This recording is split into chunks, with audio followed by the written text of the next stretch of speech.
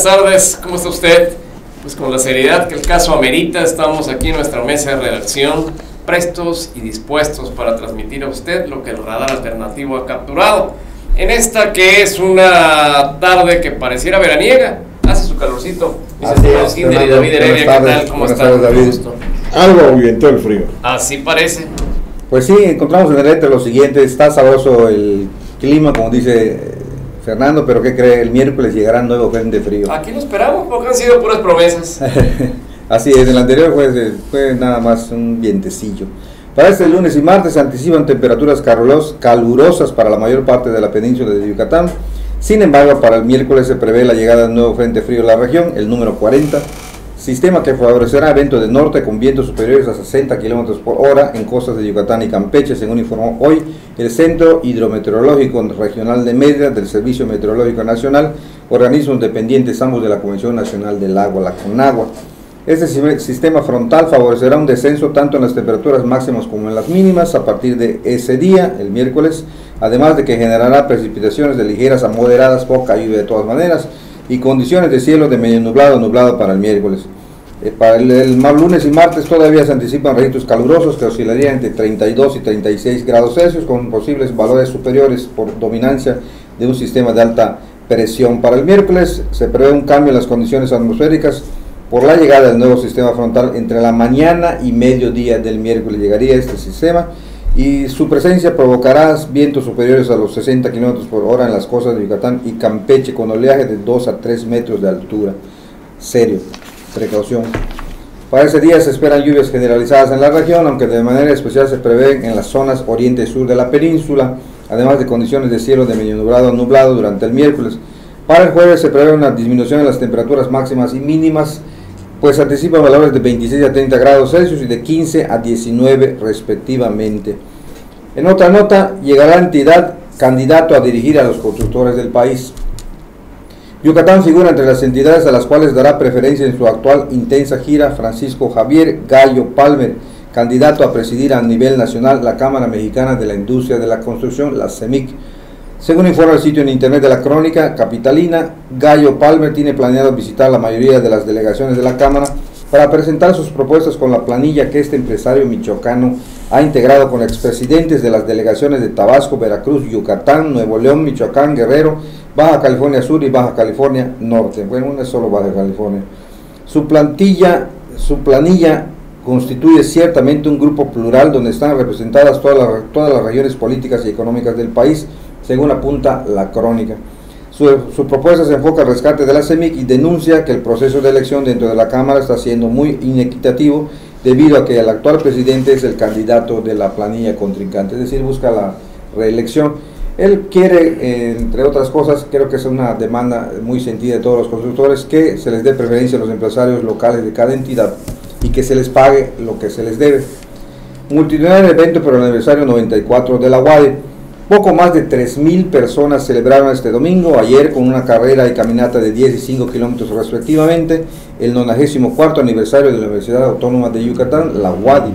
De acuerdo con un boletín, como una auténtica fiesta de celebración puede calificarse este evento que se realizó por quinto año consecutivo y con un permanente incremento en el número de participantes, entre los que se incluye a estudiantes, profesores, egresados y público en general. El rector José de Jesús Williams dio en punto de las 7 el disparo de salida de los competidores ubicados sobre la calle 60 con rumbo al norte de la ciudad. Lo acompañaron, entre otras personas, representantes del Instituto del Deporte de Yucatán, de la Asociación Yucateca de Atletismo, directivos de la Casa de Estudios y representantes de agrupaciones estudiantiles. En otra nota cultural, brilla la música barroca en la capilla del Palacio Cantón. Con una gala musical en la capilla del Museo Regional de Antropología Palacio Cantón, culminaron las actividades del curso de interpretación de música barroca a cargo de la licenciatura en Artes Musicales de la Escuela Superior de Artes de Yucatán, la ESAI. Las clases magistrales realizadas del 15 al 19 de febrero estuvieron a cargo de Santiago Álvarez, Roberto Rivadeneira y Daniel Hernández, con el objetivo de apoyar el trabajo instrumental individual y colectivo de las cuerdas y el teclado como reflejo de nuevas tendencias acaecidas en el siglo XX con relación a la forma de interpretarlas, dice el comunicado. De esta manera, bajo la dirección del maestro Gocha. Skirtlatze, debe ser polaco, los integrantes del ensamble barroco de la SAI dieron muestra de sus avances en las técnicas de ejecución de las obras de este género musical cuyo periodo comprende del 1600 al 1750. Dos avisos de la agenda cultural. En una muestra de variedad, de variedad musical, cantautores de la entidad compartirán temas de amor y amistad en, en la muestra mensual del taller de la canción yucateca que se realizará mañana martes en la Casa de la Cultura del Mayar. La intención del espectáculo es que los creadores desarrollen su talento, crezcan musicalmente y cuente con una plataforma para que trasciendan, manifestó el coordinador, el cantautor Felipe de la Cruz. El concierto gratuito será mañana, martes, como ya dijimos, a partir de las 20.30 horas. Por otra parte, la Escuela Superior de Artes de Yucatán, muy activa, está invitando a la inauguración el próximo jueves en punto del mediodía de la exposición Mundos Irreales de Marina Ánimas, una serie de registros personales provenientes del inconsciente y transmitidos a nuestra realidad en un medio pictórico. La muestra es una mirada rápida para obtener un acercamiento a los mundos paralelos dentro de la mente humana. Mundos Irreales forma parte del proceso de titulación en la licenciatura en Artes Visuales de la ESAI es el panorama local que tenemos para ustedes por el momento y ahora veamos el nacional con Fernando Río Rosado. Gracias. Ahora que te atoraste un poco con el apellido, que ah, ha de ser polaco. Me acordé de cuando aquel padre español llega a la casa y pregunta con el acento propio del lugar, ¿no? ¿y dónde está la Carmenza? Hasta arriba con gonorrea, por el nombre de ser vasco. ah, caray. Así va. Bueno, pues vamos a las noticias nacionales. Los lineamientos para reducir el gasto en operaciones en dependencias y entidades de la Administración fueron publicados en el Diario Oficial de la Federación. Con esto, se regulará la asignación de viáticos, pasajes, gastos de administración, telefonía, congresos, convenciones y otros eventos. Las únicas dependencias que no se verán afectadas por esta orden son las Secretarías de la Defensa Nacional y de Marina, así como las instancias que tienen que ver con la seguridad nacional. Esto como parte del recorte presupuestal que ha anunciado ya la federación. Bien, pues el presidente Enrique Peña Nieto recibirá este lunes en Houston, Texas, el reconocimiento al mérito global de energía. Asimismo, el mandatario sostendrá una reunión con el gobernador de Texas, Greg Abbott, con quien hablará sobre los temas bilaterales. También asistirá a un foro internacional en el cual participarán empresarios, expertos y funcionarios de la industria energética y recibirá las llaves de la ciudad. En otro tenor de cosas, en hacinamiento crítico se encuentran la mitad de los penales federales y estatales en México, revela la Auditoría Superior de la Federación. Según un estudio, a pesar de que se incrementó la infraestructura, la sobrepoblación en las cárceles federales es del 164%.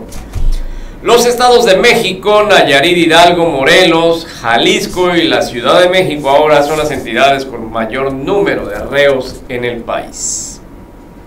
Bueno, pues el Papa Francisco todavía habla de México. Describió su reciente viaje apostólico como una experiencia de transfiguración. Además, el pontífice alabó la fe franca y robusta de sus ciudadanos, un pueblo que consideró que ha sido a menudo oprimido, despreciado y violado en su dignidad. Vaya, lo que no dijo aquí, lo dijo desde Roma. Además confesó que el centro espiritual de su viaje tuvo lugar frente al santuario de la Virgen de Guadalupe, donde permanecer en silencio frente a la imagen fue un sueño cumplido. Para nosotros la paz, la prosperidad y otras cosas que quisiéramos siguen siendo sueños pendientes. El presidente de la mesa directiva de la Cámara de Diputados, Jesús Zambrano, demandó la comparecencia del secretario de Hacienda, Luis Videgaray, para que explique los motivos del recorte por 132 mil millones de pesos al gasto corriente, de los cuales prácticamente el 75% serán suprimidos a petróleos mexicanos. El perredista solicitó a la bancada del PRI convocar a Videgaray para que exponga la situación económica del país en un debate abierto. Esto se puede poner bueno al menor descuido.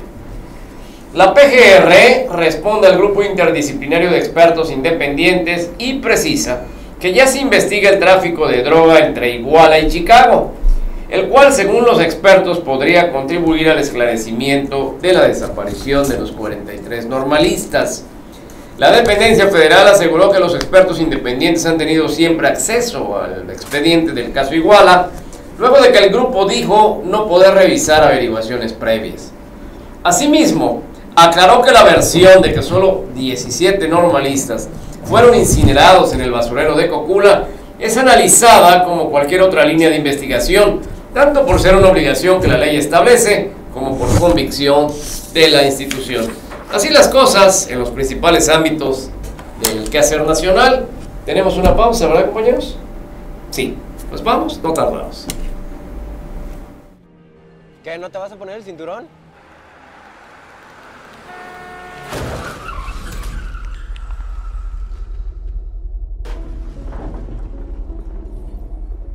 No importa si vas adelante o atrás, en la carretera o en la ciudad.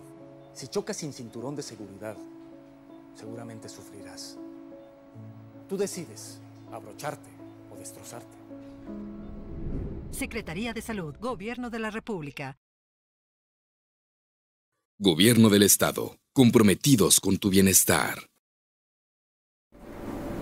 Conversábamos aquí en la mesa, ¿cómo habrán llegado a esa determinación de que son 17? Pues sí, no sí. 13 o no 19 o no 15. Tendrán el ADN ya identificado de 17. Nadie ha dicho, al menos oficialmente, eso. Así es que este tema ya empieza a ser Ya lo pachanga. ¿no? Sí. ¿Qué pasó, don David? Buenas tardes, ¿cómo está usted? Aquí, ¿Qué nos al pie del cañón, como siempre. Bueno. Dispara el cañón. ¿Qué es lo que dice ahí? Ya quieres saber. Sí, estás- claro. estás Pues eso vine. No más por eso. Se lo chismeé un poquito a Ginder y me dijo, oye, te van a mandar a matar. No. Va- va- vamos. ¿Quién? ¿Quién? No vaya a ser mal expansivo. Nada, nada, nada, aquí no muere nadie. Aquí, como decía el doctor Luna Cam, en Yucatán no te matan, pero no te dejan vivir. Eso es- Eso es clásico. Bueno, pero vamos a ver qué es lo que no te deja vivir.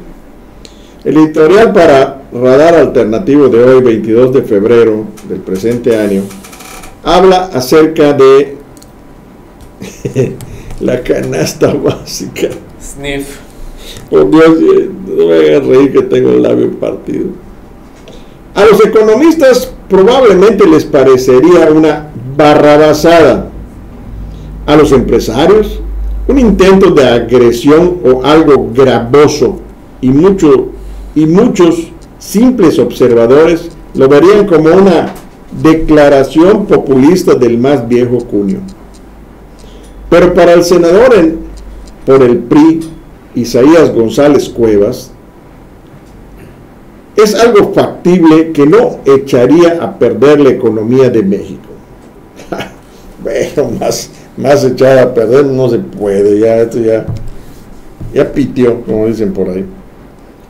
Congelar por decreto a los precios de 34 productos básicos, prioritarios para las familias del tipo de los que están incluidos en aquella famosa canasta básica oficial, que creo que ya ni existe, ni la canasta, ya, ya, aquellas de Jalacho ya ni eso.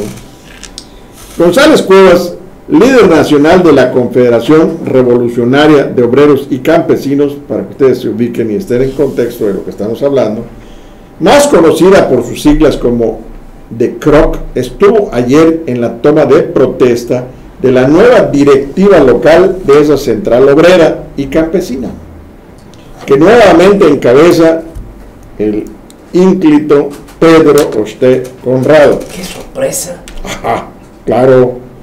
En un evento en que genialidad suya cosechó prolongados aplausos cuando anunció que propondrá a la Comisión Nacional de Salarios Mínimos que se congelen los precios de 34 productos incluidos en la canasta, en la canasta, la extinta, por así decirle, canasta básica. De manera que no se disparen como reconoció y pasa cada año, pulverizando los magros aumentos que se otorgan a los salarios mínimos o como se llamen esos esmirreados pagos. Para dar fuerza a su intento o proyecto de idea o, u- ocurrencia y para deleitar a los cientos de trabajadores croquistas presentes en la sala Maya Max del Gran Museo del Mundo Maya, ¡ah! la pompa. El senador comentó que ya subieron la tortilla, la cebolla, el huevo, el plátano, pero el salario sigue igual. Ah, descubrió el hilo negro.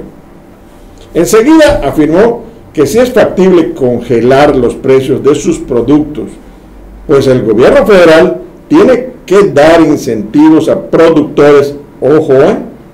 y a los comerciantes. Tienen que poner, y los comerciantes tienen que poner de su parte para mejorar la economía de las familias de los trabajadores mexicanos. Como radio político, la propuesta es buena, y eso fue evidente con los aplausos, más de cinco minutos, parados todos de pie, porque eso de parados todos de pie, lo he escuchado varias veces, que recibió el legislador. Pero en la realidad las cosas son muy diferentes. ¿Por qué? Uno, ¿quién pagará el costo de esa generosa propuesta si es que se concreta? El primer pagano que se nos ocurre es el gobierno federal, los que tienen la lana. Pero este, como ustedes seguramente ya saben, afronta difícil panorama por la caída dramática de los precios del petróleo. Otra vez la burra de trigo. Otrora, principal ingreso público y también por la devaluación del peso frente al dólar, entre otros factores que han obligado a realizar draconianos ajustes al presupuesto federal para 2016 y de una vez para el 2017. Cuando ya esté por allá, Dios no lo quiera y no nos mande más castigo que estar durmiendo con otros y estar, que estar junto a Donald Trump. Sería necesario pagarles dos, dice, sería necesario pagarles menos a los productores del campo. Es pregunta, ¿eh? Eso debiera ser impensable dado los niveles de subsistencia con que actualmente trabajan prácticamente todos ellos. Tres, los, los que paguen tendrían que ser los empresarios, ya sean los intermediarios, los industriales, ahí dicen, como decían en, nuestra banda de la esquina, Voljuan, los que le dan valor agregado a los productos primarios, o a los dueños de los grandes centros de comercio y distribución. En todos los casos se ve muy difícil lograr que esos elementos de la economía sacrifiquen sus ingresos por una propuesta obrera de muy dudoso beneficio. Ay carambas. Más allá de quién pagará el pato, no se trata de ti, mi querido pato patrón. La historia reciente ha demostrado que mantener a los asalariados como rehenes del subsidio gubernamental, como hijos que necesitan que papá gobierno o el líder sindicalista los mantenga, no ha servido de nada. ¿Perdón? Sí, ha servido de algo. De pretexto para destinar multimillonarias cifras del dinero de nuestros impuestos para mantener a una clase burocrática que se enriquece manejando subsidios, planes y programas de apoyos sociales, verbigracia, sin hambre. Yo ya sí ya tengo hambre. Que se entregan una y otra vez, sexenio tras sexenio, sin que se logre nada más que aumentar el número de pobres y agravar los niveles de pobreza. Y si no lo creen, Nada más chequen los números oficiales, no lo decimos nosotros, está a la vista. Así que la propuesta del dadivoso senador González Cuevas, don Isaías, parece solamente una puntada o una jalada. Yo no sé de qué, tal vez de pirrín, pero bueno. Nos imaginamos que incluso el presidente Enrique Peña Nieto, si la leyó, leyó la declaración, ha de estar pensando, no me ayudes, compadre, o con qué ojos divinos tuerto. Permítanos dos apuntes, más relativo a la reunión de ayer en la Cruz Yucateca. Uno es que en el 2022, al final del mandato que acaba de empezar usted Conrado, este cumpliría 46 años al frente del organismo yucateco. Ayer festejó sus 40 años y con tremendo letrero en la pantalla, Maya Max. Seguramente es gracias a que sus afiliados no quieren que se vaya. Pero espérate, no te vayas. Contentos por los frutos de su labor sindical. Y no te estamos choreando, mi querido Pedro. Por favor, somos amigos, no te ofendas. Te queremos, te queremos, Pedro, te queremos. El otro es que González Cuevas, al parecer, quiso comprometer al gobernador, eh, ahí la timba y jiribilla, Rolando Rodrigo Zapata y Bello, cuando dijo que si le va bien a la CROC, le va bien a Yucatán. Y si le va bien a Yucatán, le va a ir bien al gobernador. O sea, que recordando nuestras clases de lógica de la prepa, si le va bien a la CROC, le va bien al Ejecutivo Estatal. ¿Qué cosa tiene la vida, Mariana? Lo dejemos en la mesa, ya no quiero seguir. Y el silogismo cierra y si le va bien al gobernador, le va bien a Yucatán. No, sí. Pues mira, Eso tú lo dijiste. yo- yo- no, no, no, me lo enseñaron en clase de lógica, pero no suena muy lógico. Yo tengo una propuesta mejor. Ah, Sí. eh, Ah, mira. Dada la brillantez demostrada por tan insigne senador, pues el presidente lo debiera nombrar secretario de Hacienda Es- o de economía, o de Economía. Otro chaparrito. seguramente lo arregla. o de desarrollo social. Alguna de esas, ¿no? No, el desarrollo social y te dan cloro y todo. O lo deben nombrar Para que tú no tengas hambre, ¿no? director de alguna facultad de No, economía en Oxford, en de Harvard. ¿Te imaginas impartiendo cátedra de, No lo con sé. este tipo de No lo sé, yo lo único que sé es que estaba yo sentado allá y estaba yo escuchando todo, es una bocina que Bueno. en, mi, en mi cabeza ahí estaba yo viendo. con- Para animar al clientelismo junto, político, Junto a mí, bien. junto a mí, una fémina, toda. Pechugona. Con razón ayer cuando llegó a su casa, ¿qué quieres comer, mi amor? Pechuga, de pollo. Lo primero que se le ocurrió. Oye, No, no, no, no, no, pues, que se va parando. No, la no, economía no, se no, maneja no. por decreto. ¿Qué? Más, más delgadita que nuestra amiga de, del Yeji. No Estás impresionado, compañeros. eh, Este programa no puede llegar a casa hoy. Eh, No, yo lo pongo en mi pantalla plana. La economía no se maneja por decreto, tan así que existe a nivel licenciatura, doctorado, maestría, la, la- la economía como tal. Y pensar que por un plumazo se puedan detener, congelar, como le quieran ustedes llamar los precios de la cuatro canasta básica. Yo me pregunto entonces quién los va a producir. Porque un negocio que no deja utilidad, pues no es negocio y por lo tanto si vende rábanos ya no deja, pues ahí se Sí. quedan los rábanos. Yo voy a hacer camote. Pero, Efectivamente. pero a ver, a ver, ¿cómo puedes tú controlar todos esos 30 Sí. No, y no digas 34. Ajá. Piensa en 5. En 5 nada más. Huevo, Leche. pollo, leche, Correcto. pan y tortillas. Y los insumos que utiliza el es que- productor para alimentar Sí, a las ¿no? gallinas y a los también se van a Por eso, imagínate nada más 5. Una bronca enorme para, para controlar a los que producen los insumos que tú dices, a los que Y el la- alambre para la hacer los electricidad y todo. gallineros y la electricidad. pero no lo dijo cualquier persona, ¿eh? lo dijo un líder nacional de una confederación de obreros y campesinos, lo dijo un senador de la República, lo dijo una persona que ya tiene más allá de los 60 o 70 años. Digo, no estamos diciendo cosas que haya dicho un humilde Bueno, de la Fustán por allá. ese argumento podría haber pesado hace no mucho, 10 años o 20 años. Acuérdate de la Dile ahora a todos los muchachos que usan Facebook, que tienen arriba de 18 años, ¿qué piensan de eso? Por eso estaban el otro día comentando que los muchachos ya no creen en nada porque ellos no son como nosotros. No son como los croquistas que una y otra vez durante 40 años, y lo digo por Isaías, durante 40 o más años siguen eligiendo al mismo tipo, aunque su poder adquisitivo, según demuestran las cifras oficiales, haya ido en declive. No, las nuevas generaciones ya no creen en los políticos, ya no creen en las promesas, ya no creen en esas fantasías. Lo que diga un senador, de inmediato ellos dicen es falso, porque lo dijo senador. A lo mejor es cierto, Ahora demuéstrame lo contrario. a, a lo mejor es cierto, pero ellos de entrada lo que venga de las fuentes oficiales no es creíble. Es una verdadera desgracia que la política Pero sea India no puede seguir así las cosas. ¿ah? Pues no, no sé ¿Por qué. Porque le estás dando a tole No. con el dedo a la gente. Yo voy a- Por Dios no puede seguir así. A como están las cosas actualmente, ya no puede seguir haciéndoles creer que vayan a Les creer. dices lo que les gustaría oír, porque sí. no le gusta que te diga, güey, ya no va a subir el huevo, acá todo, que ya no va a subir la tortilla, La gasolina. ya no va a subir la gasolina, ah, toda. Suena bonito. No, esto es muy grave. Y luego bajó 3 centavos, ¿no?